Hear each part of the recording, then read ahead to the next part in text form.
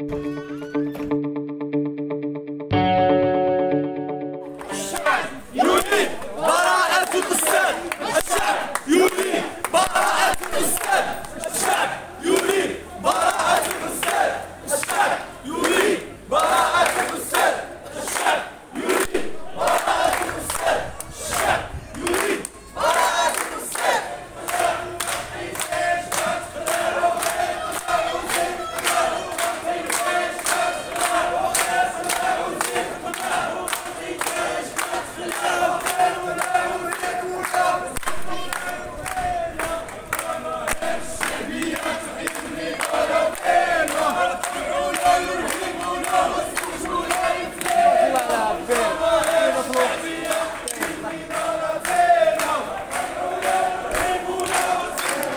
محسن هلال عضو المجلس الوطني عضو لجنة الإعلام الوطنية الموسيقيين الوطنيين الاساتذه الذين فرض عليهم التعاقد التواجد ديالنا اليوم تأييدا ونصرة الأساتذة ديالنا اللي تمت المتابعة ديالهم وتحطت يعني مجموعة من اتهامات جاهزة آه، ضدهم. ونحن بطبيعة الحال نؤكد من هذا المنبر أن طالما التعاقد باقي وطالما التضييقات باقية فنحن مستمرون. وسيناريو التصعيد قادم بطبيعة الحال في المجلس الوطني الأخير.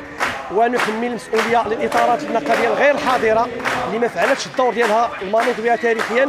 وكذلك نطالب بقية الاحزاب السياسيه تعطينا موقف سياسي صريح من ما يحاك ضد الاساتذه لأن الأساتذة ليسوا مجرد أرقام انتخابية ولكن هو مطلب من أجل إسقاط التعاقد. ونؤكد أن هذا المخطط هذا ديال التعاقد هو آه هو سرقة للحق في الوظيفة العمومية وللحق في المدرسة مجانيه عموميه لأبناء الشعب المغربي آه، في المستقبل. ونؤكد وندعو الجميع إلى مزيد من الوحدة آه، وال- والمعركة ديالنا مستمره والمجلس الوطني الأخير آه، أو المقبل إن شاء الله بمراكش كفيل بإعطاء اجابات ديال المرحلة بتصور آه، واضح هذه المرحلة.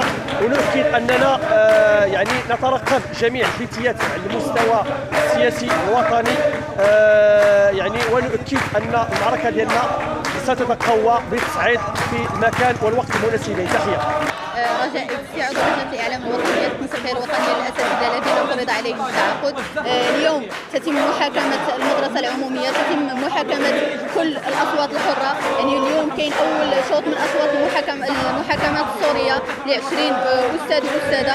آه، الأسبوع المقبل آه، يوم 27 كذلك كاينة المحاكمة ديال 16 أستاذ وأستاذة. حنايا نازلين آه، تزامنا مع المحاكمات السورية ديالهم.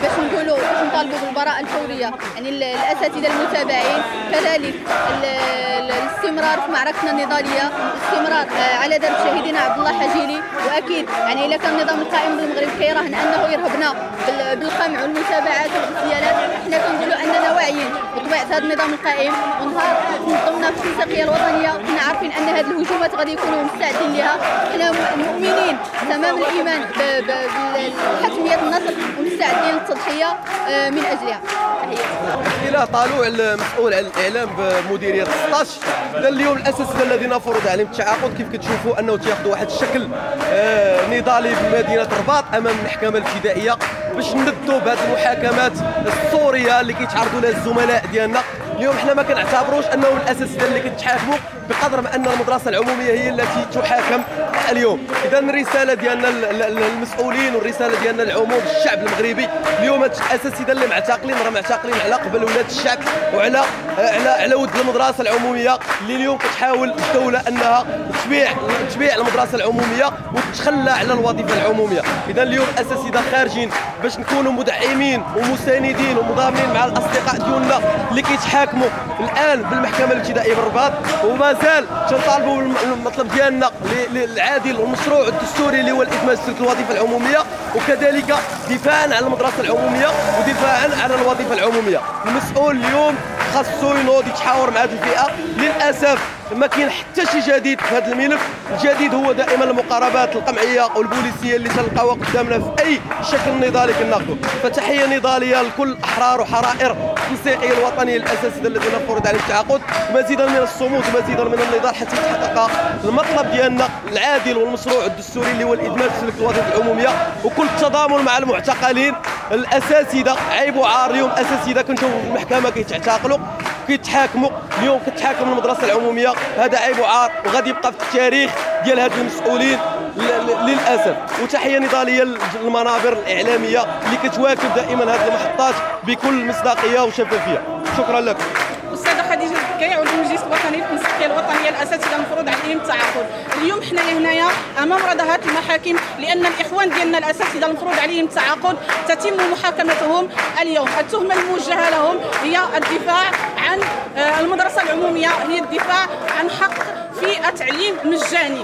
اذا إلا كان اليوم شي واحد كيتحاكم اليوم هنا فالدولة المغربية هي التي تحاكم لأن نحن أبناء هذا الوطن وندافع عن الحق الشرعي ديالنا في وظيفة عمومية وفي مرفق عمومي بجودة تعليمية لجميع المواطنين وجميع التلاميذ. إذا من هنا كنقولوا كتنسيقية وطنية الاساتذه المفروض عليهم التعاقد. لمن يهمهم الأمر؟ أن نضالات نضالات التنسيقية ستستمر إلى حين الإدماج في ولا نرضى إلا بالبراءة للإخوان ديالنا الذين تم تأجيل الجلسة ديالهم اليوم إلى يوم 16 سبتمبر. وكذلك الأساتذة الذين سيحالون على نصف المحكمة أيام 27 لن نرضى لهم إلا البراءة. الا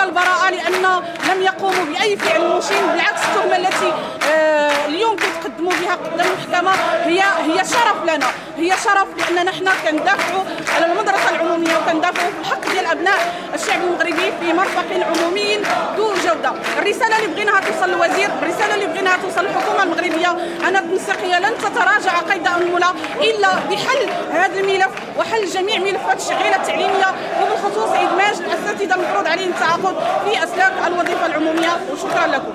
أستاذ صابر بمو عضو التنسيقيه الوطنية للأساتذة الذين فرض عليهم التعاقد. جئنا اليوم للرباط من أجل التأكيد على بعض المسائل. اولا جئنا لنؤازر الاساتذه زملائنا الذين يتابعون في حالة صراع والذين تم اعتقالهم يعني آه، في الإنزال الوطني الأخير. وجئنا لنقول بأن يعني مسار المعركة اخذ إلى جانب غير الجانب الذي يجب أن تسير فيه. معركتنا ليست مع الشرطة.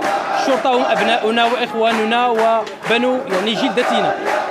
وليست معركتنا مع القضاة والمحاكم لأن المحاكم هي محاكم هي وضعت لي يعني محاكمة المجرمين ويعني أخذ يعني الحقوق لأصحاب الحقوق. ليست معركتنا مع هذا كله وإنما معركتنا هي مع الوزارة وزارة التربية الوطنية.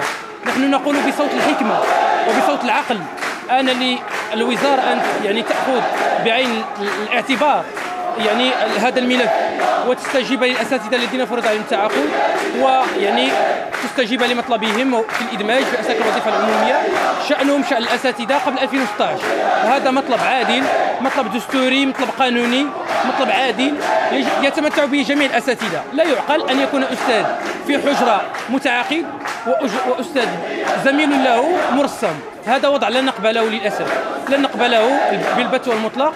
ونقول بأنه آن آن الأوان بأن نقف عند هذا الهدر من الزمن للتلميذ. نحن الآن في أيام الامتحانات والزمن الدراسي يهدر للتلاميذ. السبب هو الوزارة التي لا زالت تتعنت لا زالت تتمسك بموقفها رغم إجماع وطني الذي تحقق حول هذا الملف وهو أن جميع يعني النقابات الأحزاب الجمعيات تؤكد على أن يجب الاستجابة إلى هذا المطلب. مطلب الاساتذه الذي فرض عن التعاقد وهو الإدماج في اسلاك الوظيفة العمومية شأنهم شأن الأساتذة قبل 2016 قبل ما تخرجوا ما تنسوش تابوناو في la chaîne YouTube وبارطاجيو الفيديو وديروا j'aime وتابعوا الدار على مواقع التواصل الاجتماعي.